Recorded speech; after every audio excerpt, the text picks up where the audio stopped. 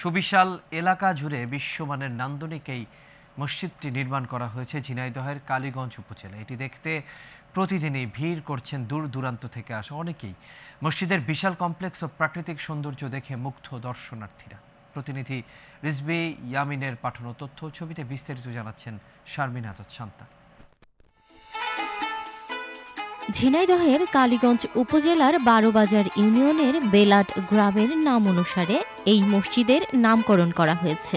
দুই একর জমির উপর নির্মিত এই মসজিদটিতে ব্যয় হয়েছে প্রায় পাঁচ কোটি টাকা।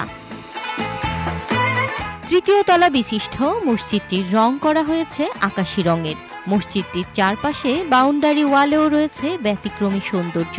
মসজিদটিতে রয়েছে নারী পুরুষের জন্য আলাদা আলাদা অজু ও নামাজের ব্যবস্থা।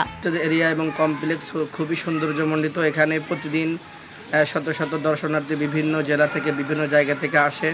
এখানে পাশাপাশি মহিলাদেরও নামাজের সুব্যবস্থা আছে। জুমার নামাজ উক্ত নামাজ পাশে গোরস্থান আছে। ফেসবুকে দেখি সেই জন্য আজকে অনেক শখের পরে আসছি এখানে। উদ্দেশ্য নামাজ পড়া এবং এটা দেখা। অনেক দূর দূরান্ত থেকে লোক আসে এখানে। এসে সবাই আনন্দ উপভোগ করে। দৃশ্যটা খুবই সুন্দর। মসজিদটি নির্মাণ হবার পর থেকেই মুসল্লিদের উপস্থিতি অনেক বেড়েছে। প্রতি শুক্রবার দেশের বিভিন্ন প্রান্ত থেকে অনেক মুসল্লি আসছেন মসজিদটি দেখতে এবং জুমার নামাজ আদায় করতে। Sharmin Azad Shanta, Asian Television.